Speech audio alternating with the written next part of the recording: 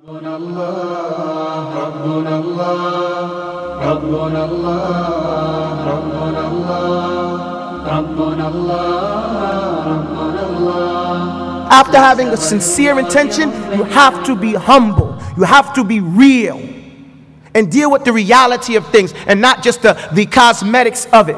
And being real and humble means you have to humble yourself in order to gain knowledge from your teachers. Knowledge runs away from the high and mighty and arrogant person, just like water runs away from the high and mighty mountain.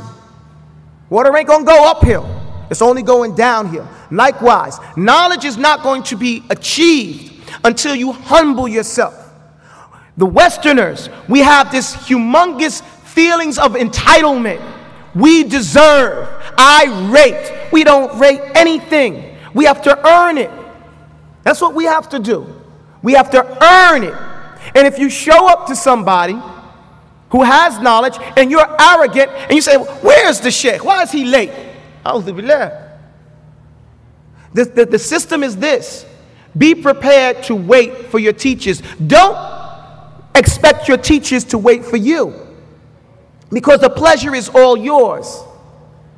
The opportunity to achieve knowledge is your opportunity. Yes, it's hard to find good students, it's even harder to find good teachers.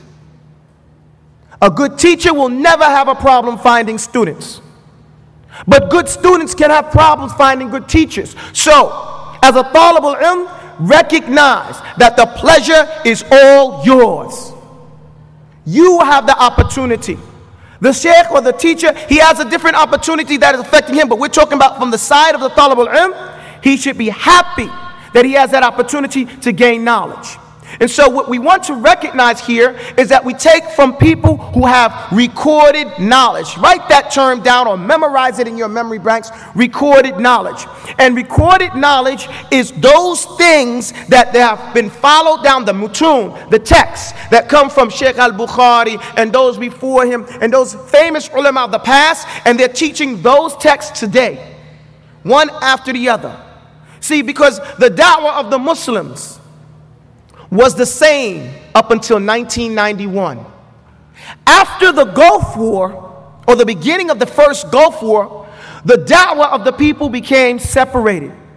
And the Muslims in our generation started to divide and call to many different things, all of them calling to the Sunnah.